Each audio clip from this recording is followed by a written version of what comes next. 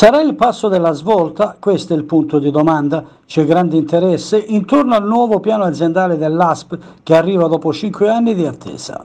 È vero che dopo l'approvazione avvenuta a metà marzo, il governatore e commissario della sanità regionale calabrese Roberto Chiuto ha fatto slittare i termini a 30 giorni dopo l'adozione dei provvedimenti regionali in itinere sulla rete territoriale ospedaliera, ma di fatto la nuova impalcatura dell'ASP è già ufficiale con la pubblicazione sull'albo pretorio.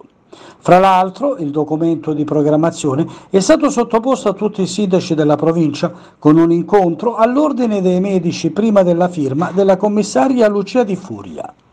4. I pilastri su cui si basa l'atto aziendale pubblicato. Il primo, testuale, rafforzamento del centro strategico dell'azienda al duplice scopo di promuovere logiche di gestione ispirate ai principi di efficienza, efficacia ed economicità e nel contempo di governare con una direzione unitaria i grandi processi di trasformazione che stanno cambiando il volto della sanità pubblica, transizione digitale, telemedicina, PNRR, nuovi modelli di sanità territoriale, necessaria tutela delle fragilità.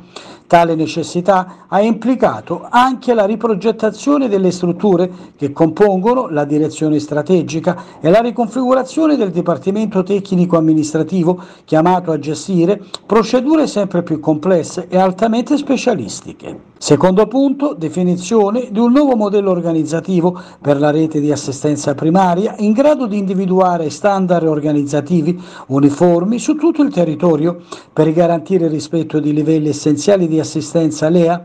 Terzo, individuazione delle priorità di intervento in un'ottica di prossimità e di integrazione tra le reti assistenziali territoriali, ospedaliere, specialistiche, sanità di prossimità, prevenzione e sanità territoriale, integrazione ospedale-territorio anche attraverso le COT, le case della comunità, gli infermieri di comunità, gli ospedali di comunità. E infine potenziamento del coordinamento tra i vari setting assistenziali e della continuità delle cure per coloro che vivono in condizioni di cronicità, fragilità o disabilità che comportano il rischio di non autosufficienza mediante l'istituzione di un Dipartimento del Territorio e della Fragilità.